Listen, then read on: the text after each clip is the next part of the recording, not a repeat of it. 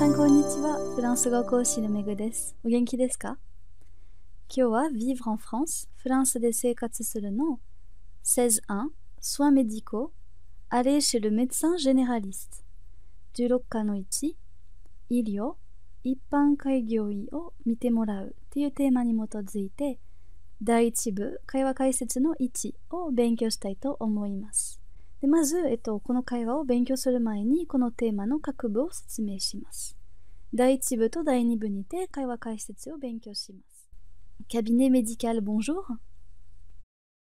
これは電話での会話なので、えっとまあ、電話に出る人はここを診療所、こんにちはと言いますね。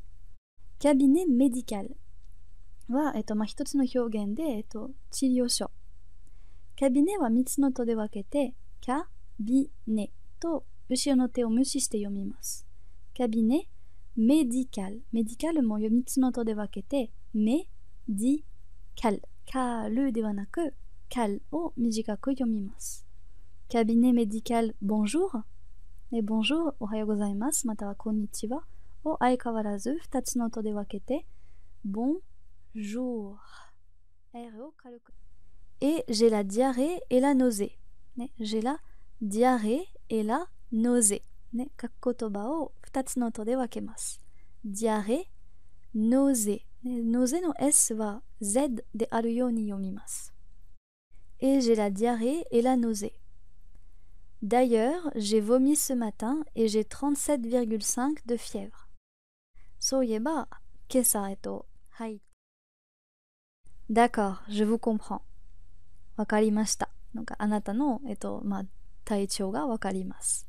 D'accord, je vous comprends. ね、comprend は2つの音で分けて R を軽くして comprend ではなく comprend と読みます。Je vous comprends.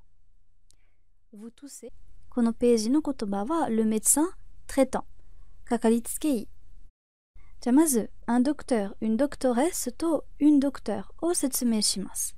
この3つの言葉は同じ意味です。医者の先生。ただ、アンドクターは男性系。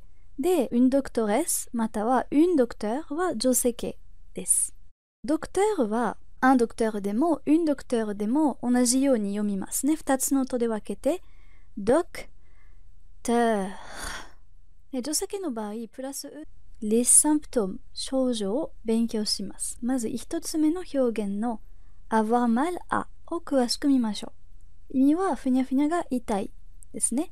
avoir mal à プラス定冠詞と一緒に使うので、à プラスるイコールを、à プラスらイコールあらと à プラスれイコールを。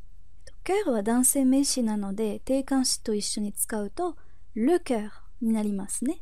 で、j'ai mal à le cœur とはそのまま言えないので、j'ai mal au cœur あ、うのおここ使いますね。単数形のお。